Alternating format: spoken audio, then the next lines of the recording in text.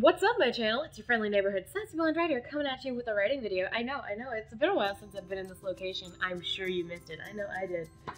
Meowth is being very dramatic, though. Get it together.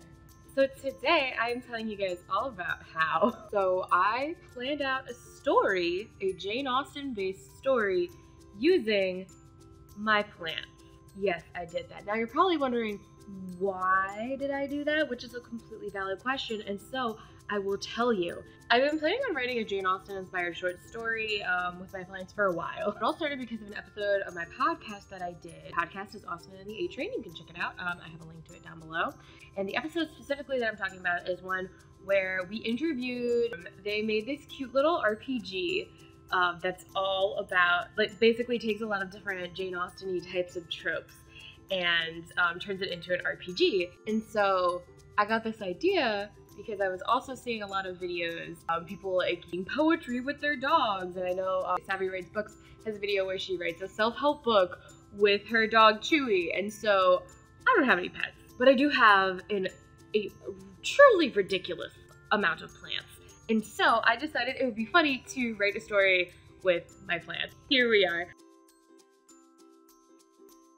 So what kind of prompted me to actually write this story is I signed up. I forget how I signed up. I feel like I just did it in a moment where I was just like, I'm a writer, like kind of moment. And I signed up to um, do this writing competition for the Jane Austen Literacy Foundation, which I'll also link to down below. They have a contest every year, and it's a free contest, which is always nice. We love that. We love free things. Um, and I think the the story that wins gets is chosen to be put in.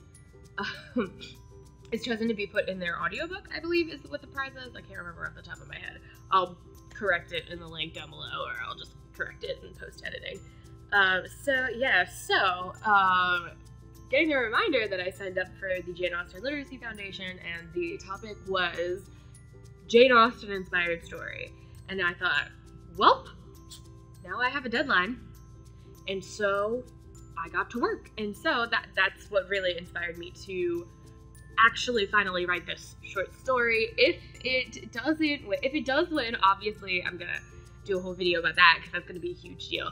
But if it doesn't win, I'll probably put it on Patreon for my podcast because I really had a lot of fun writing this. It was a lot of fun just like figuring it out with my plants, um, learning the mechanics of the RPG game, and you can learn all about that in the video. You can learn all about that in the episode that I did when we interviewed these women. The RPG that I specifically used is called the Good Society. The company that makes it is called Storybrewers Role Playing Games. Uh, they have a lot of really interesting games out there, and they also have a lot of really interesting add-ons to the Good Society. Not to be confused with the Great Society, that was a whole other historical thing. But you can also figure, you can also find it really easily if you type in Jane Austen RPG into Google, and then boom, it shows up. So it was really cool to be able to break down the process for writing a story, writing a short story, and also working with my plants. So um, I hope you enjoy this video. If you want to see more content like this, where I do like a let's write video and you kind of watch me go through the whole writing process, please let me know, and I would be happy to write some more. You can like this video, leave a comment down below on what you liked. Um, and yeah, so if you enjoy this type of content, please uh, give this video a like so I know to do more Let's Write types of videos. Alright, so. So first things first, uh, we started off with characters. So I used my pineapple plant, which I named Luigi, because when I was playing through Luigi's Mansion, um, which was like my, my mental health game, like don't know why Luigi's Mansion just kind of called to me when I was having a rough time. And so I played a lot of Luigi's Mansion, or no, Luigi Mansion 3, the one in the hotel. And anyway, so this plant, the pineapple plant, was all over the place that game. And so I fanned out the cards, um, the four character and the four characters that were leaning closest to the pine where the pineapple would point. So I like kind of propped up the pineapple because it was leaning one way because of the lighting and everything. Whichever way pineapple leans, I'm gonna take those four. Everything is placed face down, so I have no idea what character is gonna be chosen. Oh no! Well, Luigi has spoken. We part to Luigi. For the four characters, we have the socialite, the dependent, the new arrival, And last but certainly not least, the careerist. Now, I don't have to make all of these men, and I probably won't, because that's not what Jane Austen would have wanted. For the names, I didn't use my plants, I used a Regency name generator.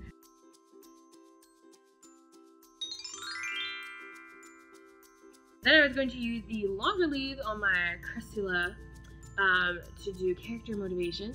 So I bent the leaf back, and whichever card it hit was going to, um, when I released it, was going to be the motive for character one, two, three, and four.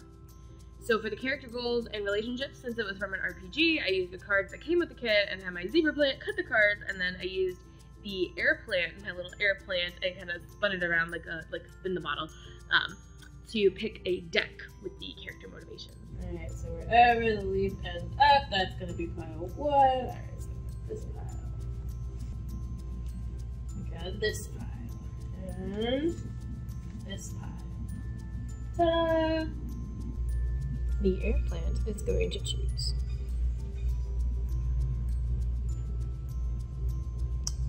It is chosen. I wanted to stick with four characters because it's a short story and the word limit was like 2,000 words. Um, so I figured if I had more cards as my main characters, I feel like if I had less characters, I wasn't gonna have a lot to like work with character wise for the short story. But if I had more than four, I, I felt like it was gonna be too much and I was gonna have too many ideas because that's always my problem. It's like too many ideas and not enough time to do it. So um, yeah, so I went with four characters. Um,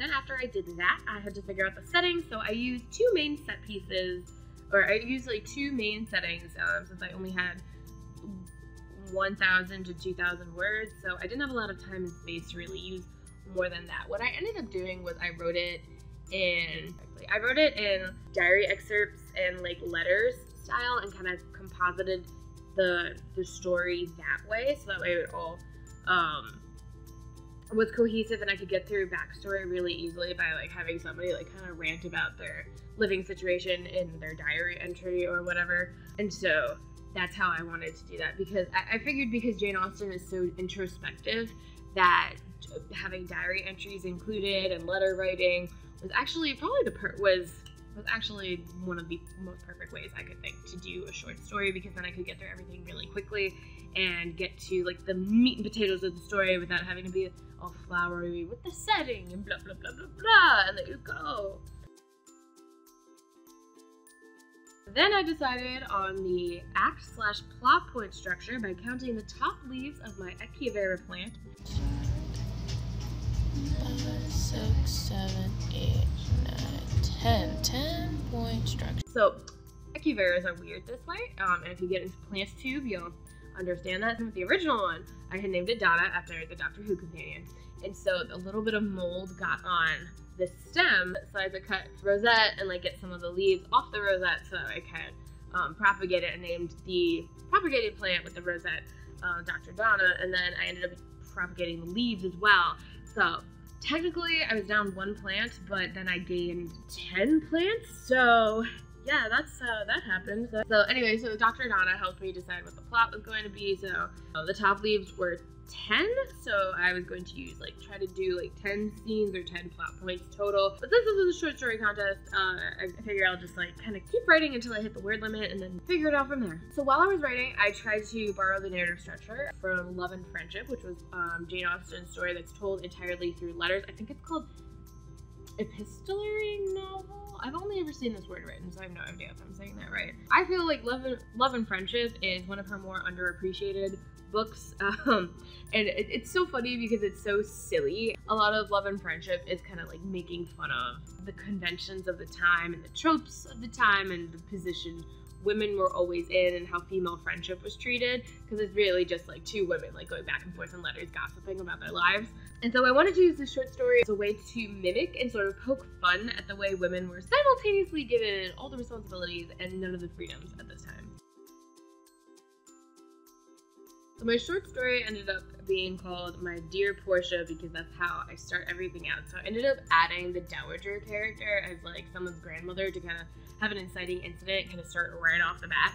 So the different characters, the Dowager's name is Lady Donahue. So you have Portia Hawk, who's kind of like the main main character. It's mainly told, through her diary entries, and then you have her cousin, who is tasked kind of with. She's the socialite of the family, so she's kind of tasked with uh, saving the family because Portia's father and Beatrix's uncle has been philandering around and he has been spending a lot of the family's money so they don't have a lot in reserves. And so either Portia becomes a governess or Beatrix has to marry or become a governess. And so those are the stakes for them. Unbeknownst to Portia, Beatrix has already kind of had a fling with the new guy in town, Maximilian. Beatrix already knows this guy uh, Maximilian is the nephew, grand nephew, whatever. Um, is the nephew of Lady Donahue, who originally writes to Portia and is like, "Oh, can you show my son around the country?" Blah blah blah blah blah. And so Maximilian writes to Beatrix, and he's, "I gotta have you back." Little do any of the other characters know that Beatrix is actually um, has a secret engagement with Edward Steer, who's like a longtime family friend, and she used to pay him no mind. And so that is the premise of the Jane Austen short story that I started. I'm very excited. I hope I get to like read a little bit of it to you guys at some point in the future. Um, so stay tuned. Thank you for watching my channel. If you enjoyed this video, please uh, hit subscribe. And of course, happy writing.